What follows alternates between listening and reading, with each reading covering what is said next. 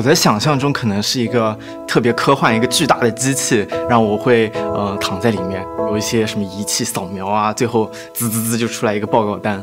会抽血吧？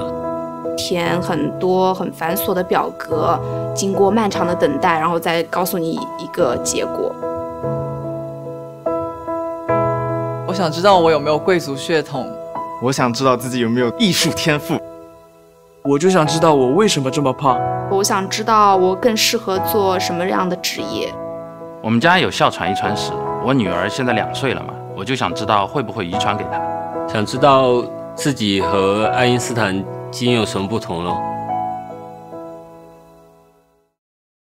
基因检测呢，它呢，顾名思义就是一个对基因的检测方法。那么最早呢，我们应用于科研领域；那么在医院呢，主要应用于临床领域。那么随着技术的发展，现在还有面向大众的消费级的基因检测，可以检测一些疾病的风险以及人群的一些特质等等。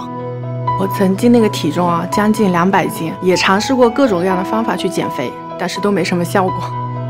我有一个怎么吃都吃不胖的闺蜜对我说：“说你要不要去做一个基因检测，看一下你是不是属于易胖体质。”结果出来以后，我发现自己对维生素 B 族的需求过高，对碳水化合物和脂肪都过于敏感。基因检测呢，实际上是对我们遗传物质的一种检测。我觉得意义最大的呢，还是一个对疾病风险的预测。那么，比如说我们有一种疾病的风险，但是呢，在当下呢，有可能并没有体现出来，那么我们体检呢就没有办法呢进行检测得到。但是通过基因检测呢，我们会知道这个风险。我外公他有八十多岁了嘛。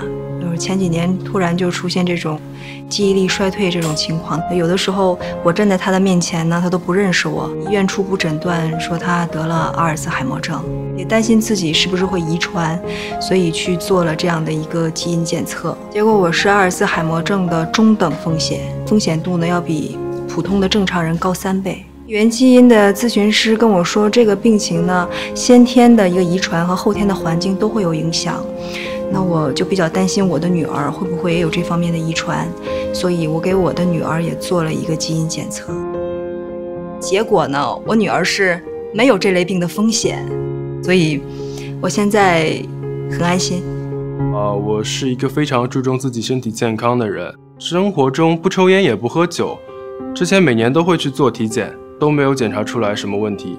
之后有一次偶然的机会，我了解到了基因检测，我也去做了尝试。结果在我的报告上显示，我 POLE 的基因存在致病变异，它会让我的患结直肠癌的几率增高。在那之后，我有预约原基因的一对一沟通咨询的专属服务，然后我的咨询师就建议我在我二十五岁之后每一到两年做一次结肠镜的检查，那样会有效的防范我患病的风险，这样我对自己的健康管理就更加有方向了。癌症，这是目前最关心的一种疾病，也是最严重的一种疾病。如果有癌症的风险，我们也可以针对这些癌症呢进行针对性的，呃一些预防的体检。比如说女性的乳腺癌，那么乳腺癌它最关键的基因呢是 BRCA1 和 BRCA2 两个基因。如果发现了这个基因的问题以后，那么我们这个时候就可以针对乳腺呢，有每年一次或者每半年一次的一些，呃比较敏感的检测。通过这个基因检测呢，就会嗯得到一个比较详细的一个报告。那么能够知道呢我们的疾病的一些风险，那么做到早期诊断、早期治疗，提高生活质量。